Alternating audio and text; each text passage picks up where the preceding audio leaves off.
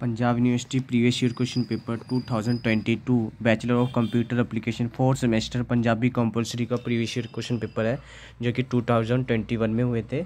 तो मैंने ये पेपर अपलोड कर रहा हूँ। तो आप भी इस पेपर के अकॉर्डिंग प्रैक्टिस कर सकते हैं।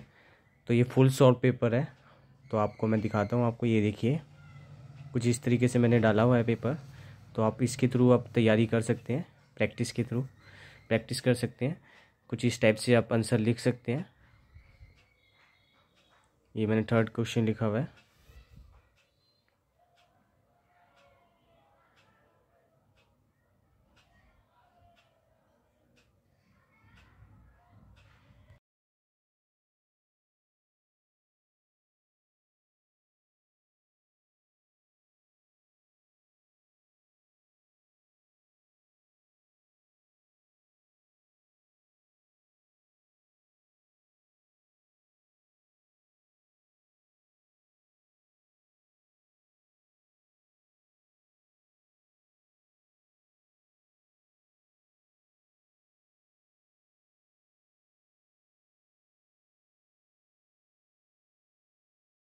तो मैंने बारह, तेरह तेरह पेजे तक मैंने किया हुआ पेपर ये देख सकते हैं।